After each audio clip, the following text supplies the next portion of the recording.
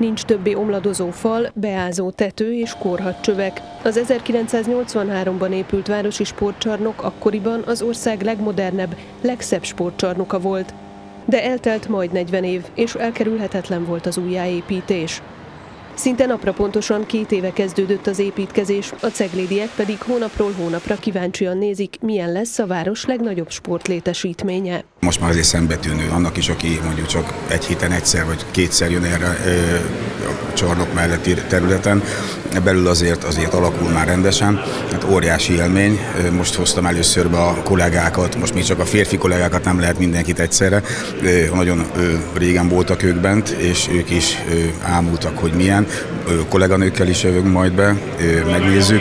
Nagyon várja már mindenki persze. Utoljára tartottak a sajtómunkatársainak bejárást az épülő sportcsarnokban. Legközelebb már az átadáson láthatja a nagy közönség a teljesen megszépült, felújított, kibővített épületet. A 4000 négyzetméteres csarnok fogadótere a Rákóczi út felől lesz. Itt lesz a ruhatár és a büfé, és innen már be lehet látni a versenycsarnokba. Az éppen aktuális munkákról az építésvezető beszélt. Jelenleg a mennyezeten a villanyszerelési munkák folynak, elhelyezzük a hangszórókat, a reflektoroknak a tartószerkezetét, a reflektorokat, az öltözőknek folyik jelenleg a glettelési, festési munkái, gépészeti szerelések történnek, kazánházba készítjük elő a házat a fűtés szezonra, és a homlokzat szigetelési munkákat végezzük jelenleg. Meg itt az emeleti részen a csiszolt betonfelületeket éppen fejezzük be. Előre láthatólag egy-két héten belül már itt a emeleti szinten fogunk burkolati munkákat, festésglettelést végezni. A sportcsarnok kétszintes lesz. Kilenc öltözőt alakítanak ki, kulturált irodahelyiségeket és egy konditerem is helyet kap majd az épületben.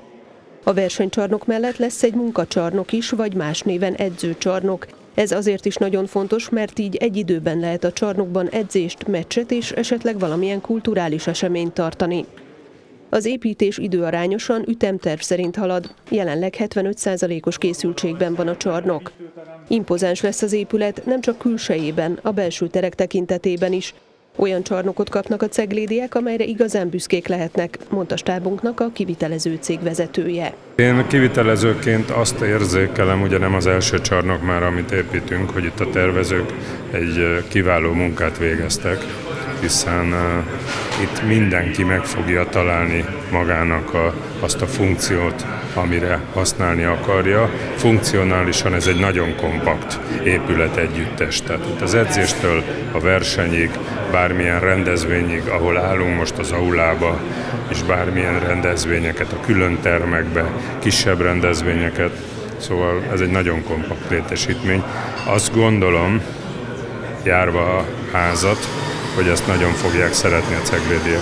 A csarnok kialakításába természetesen volt beleszólásuk, erről már Ványi Zsolt beszélt. Tényleg kikérték a véleményünket az első tolvonástól kezdve, az, hogy, hogy hogy nézzen ki, mind nézzen ki. Sajnos azért a, a helyhiány miatt nagyon sok mindent fel kellett adni azokból az elképzelésekből, amit szerettünk volna. Sokkal nagyobb konditermet akartunk ö, létesíteni, az nem fért bele, de ez egy óriási ötlet volt a, a vezető tervezőtől, Nól Tamástól, hogy két oda lelátó lesz. Nagyon sokáig az volt, hogy egy oda lelátó volt, egy oda lelátó marad, és ez egy, ez egy hatalmas döntés szerintem, nagyon nagy ötlet, az, hogy megszűnik a terasz az uszoda felé, és így befért a két oda lelátó, ami külön hangulatot fog adni a, itt a sporteseményeknek. Az más kérdés, hogy egy szalagavatót hogy rendezünk majd meg, és a koreográfusoknak majd át kell alakítani itt a, a táncmenetet, de én azt gondolom, hogy egy, egy ilyen esemény és sporteseménynél nagyon jó lesz, hogy két oda lelátó. Az új csarnok finanszírozása óriási összefogás eredménye, erről is beszéltek a sajtó munkatársainak. A program az három TAO finanszírozáson, finanszírozást kap a Magyar Kézilabda Szövetség részéről, a Magyar Kosárlabdázók Országos Szövetsége támogatása, illetve a Magyar Labdarúgó Szövetség támogatása részéről. Külön köszönjük a magyar államnak a, a támogatást, illetve Ceglédváros önkormányzatának szintén a, a támogatást. A közel ezer fő befogadására alkalmas sportcsarnok év végére készül el. December 17-én már bajnoki meccset szeretnének tartani.